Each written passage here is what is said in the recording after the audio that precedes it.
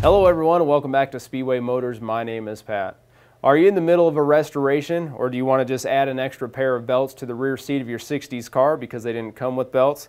Well, here at Speedway we do offer a couple different versions of belts to help fix up your ride.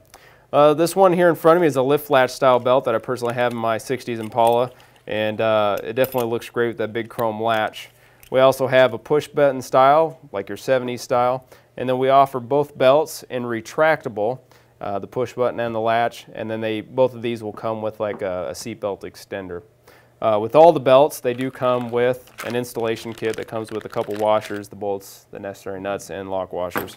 If you need extras, uh, we do sell the installation kit separately here at Speedway.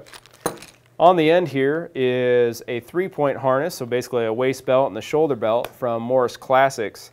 This one is specifically for a 66 to 67 Nova, and uh, this is a really detailed belt. This one even has the GM insignia on the push button itself and uh, is just really a nice piece, especially if you're out there restoring your car to stock. I think that would make a great addition.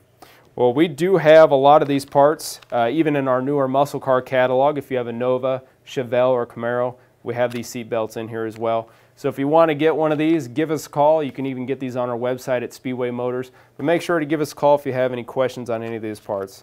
As always, you can hit us up on Facebook. Make sure to leave me a comment in the box below. And you can hit us up on our YouTube channel. As always, my name is Pat, and thanks for watching.